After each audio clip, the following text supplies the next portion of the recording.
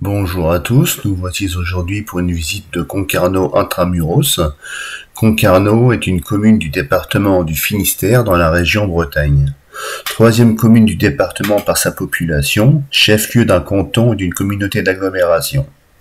Concarneau, qui inclut les anciennes communes de Bezec, Conques et Lenriec, est une ville située sur la côte cornouaillèse dans la baie de la Forêt.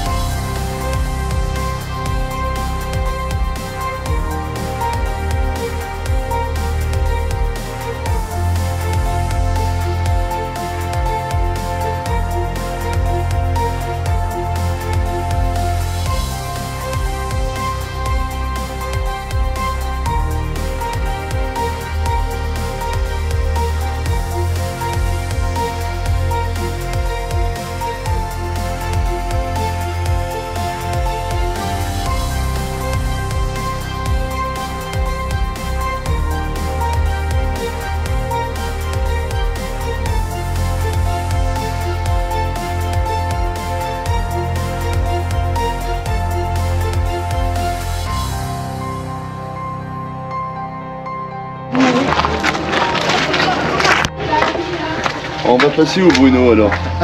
bah là, on va passer le long, de- derrière les magasins. Et puis, euh, on va voir les cuisines avec les restaurants.